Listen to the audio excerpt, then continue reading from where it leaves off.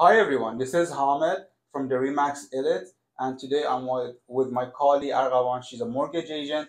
We are going to discuss some questions about real estate. And mortgage questions. So Arghavan has some questions for me to start with. So, so what's your question? So Hamed, I'm going to start with a very common question why do people need to go through an expert real estate agent when buying or selling their properties? It's very important to choose uh, an expert real estate agent uh, when it comes to buying a house for your family because you have saved a lot of years probably or that's probably one of your life uh, biggest savings so you want to make sure that you go to the right person when it comes to buying a property um, people need to approach us for several reasons.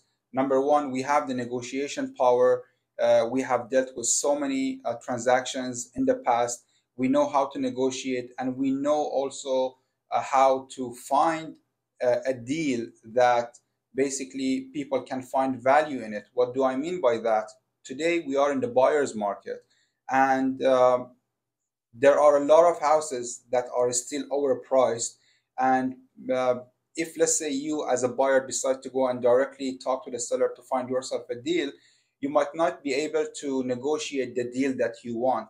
But because we know sometimes uh, the motive uh, the motive behind the sellers or let's say they want to sell to buy in another area there, there are different tactics that we can use based on our experience to negotiate a good discount for a buyer once you put yourself let's say if you want to versus if, let's say if you want to go directly and, and deal with a seller directly uh, you're going to put yourself in a front line where you have no way back when you are communicating with that seller versus when you have someone in the middle to negotiate for you uh, you can always have the buffer or the time to think and reply and not get yourself locked up in a deal. Uh, we have seen uh, so many of our clients in the past they thought they're getting themselves a good deal dealing with the seller directly. But after we check the data and the information in the area, we found that is actually it's a market price or they sometimes even overpaid. So we do our due diligence. We find out what's sold in the market, what's sold in the off market, where a agents don't have access to that data.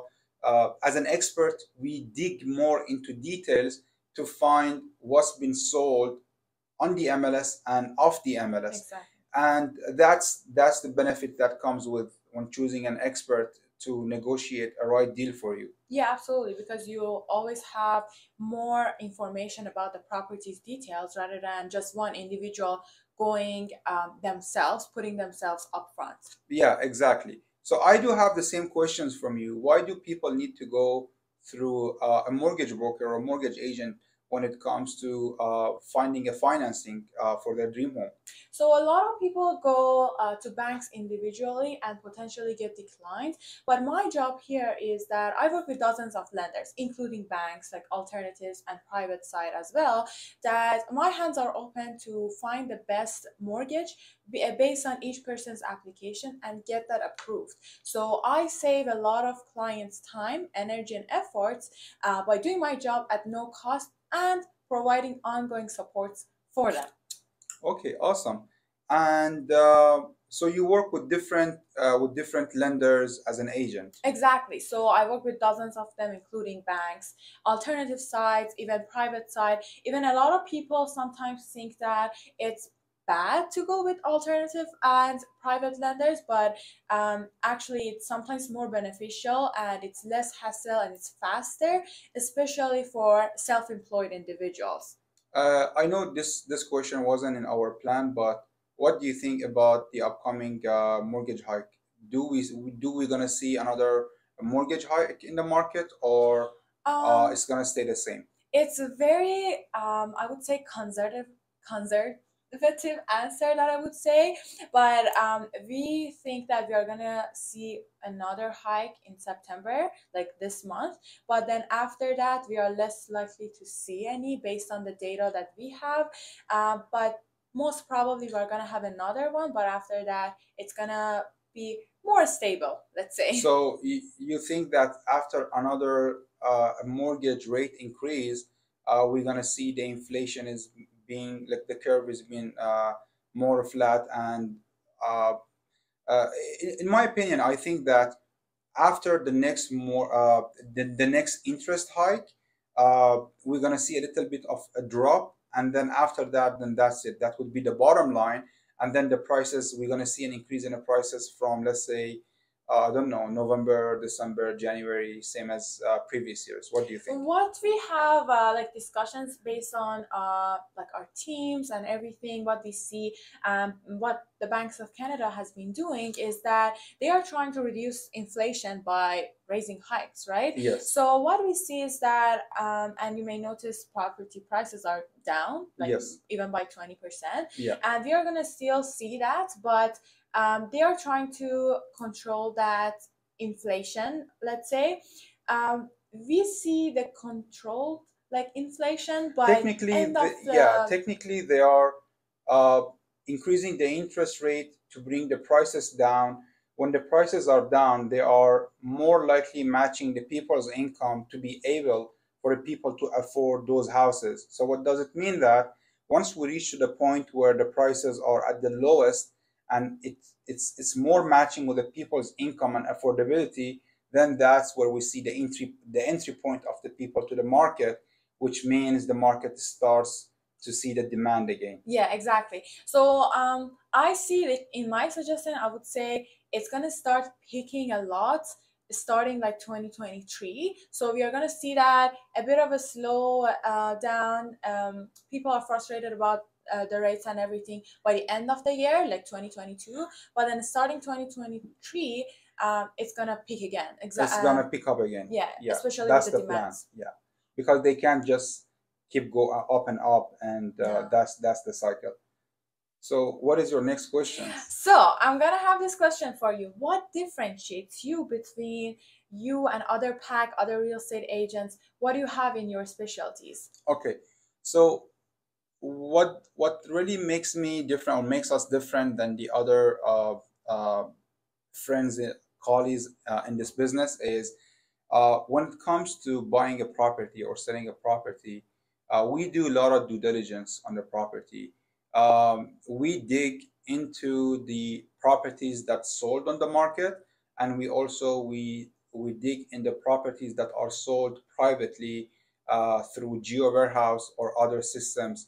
Uh, sometimes even uh, you know we see properties are sold, but it's going to take 20 days until it appears on the system.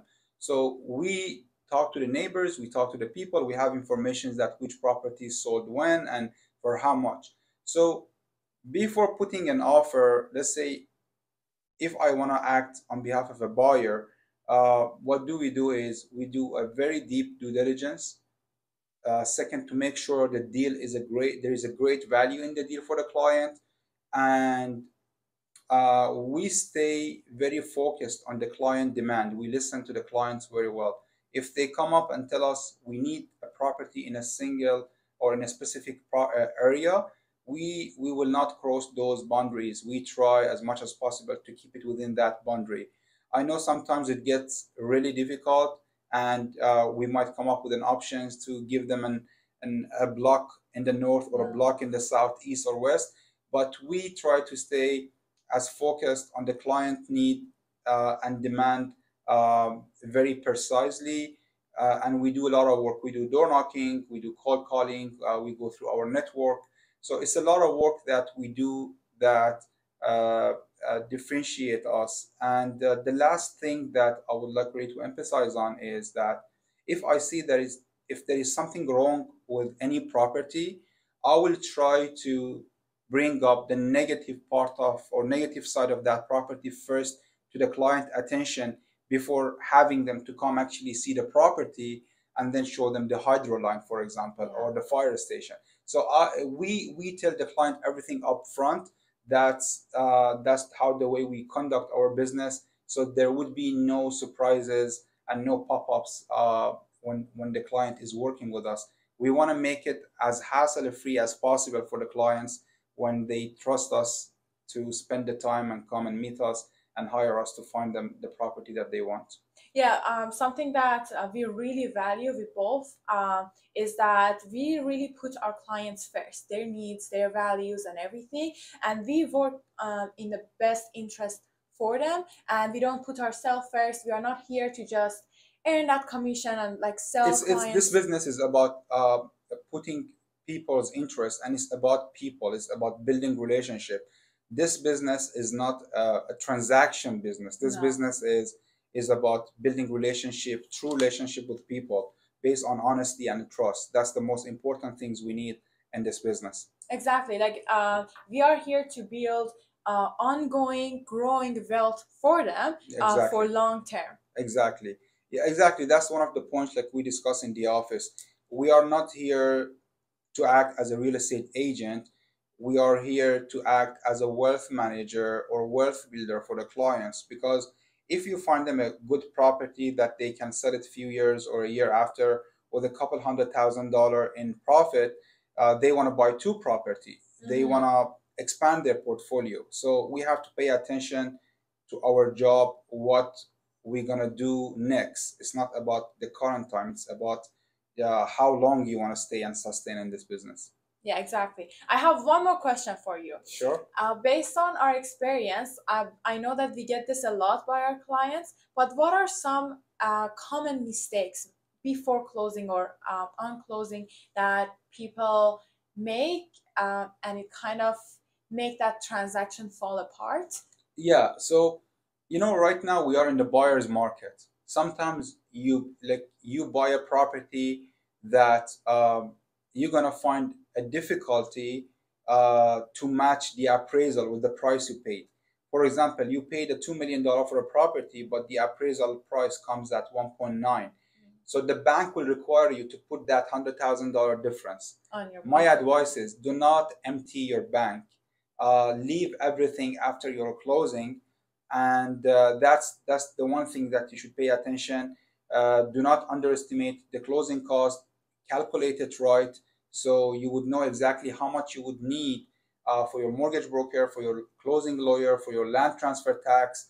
Uh, so please pay attention that you always have an extra money in the bank for that closing and uh, um, the other the other things before the closing is not checking on the property uh, usually we do a last check on the day of the closing in the morning or, or a day before that Mhm.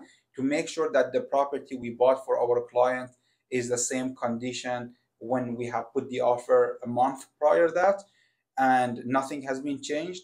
Uh, and also uh, you know uh, we make sure that uh, the property uh, doesn't come with any uh, an additional cost uh, not only checking the property. Let's say um, you know you might close on the property and next day you you, you find out that the furnace is not working Uh, so maybe during that inspection, the, the the furnace was working, or let's say if you see something suspicious, you have to bring it to the buy, to the seller's attention to avoid uh, to avoid having any extra expenses after the closing of that property.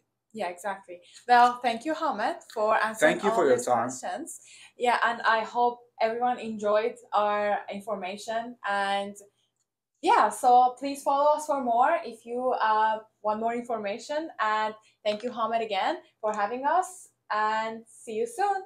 Thank you so much for uh, listening to this uh, conversation. I hope this conversation will bring you uh, more information that you needed toward your next purchase. For more information, do not forget to follow and share this video, uh, this video with the friends that you think uh, it can, can, it can be to their benefit as well. Thank you so much. Thank, you. you.